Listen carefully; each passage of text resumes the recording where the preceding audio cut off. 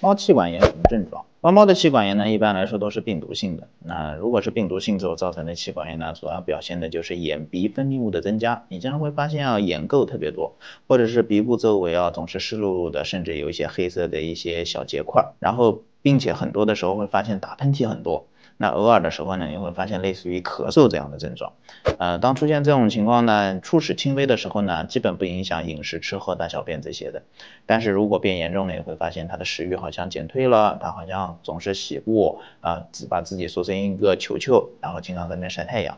那如果到了这一种情程度呢，你就要及时带到医院里面去进行用药了。那么如果只是前端的，你发现了这样的一个情况，但它没有影响到吃喝，你可以先行用药。啊，去帮助到它抗抗病毒，或者是做局部的一个消炎。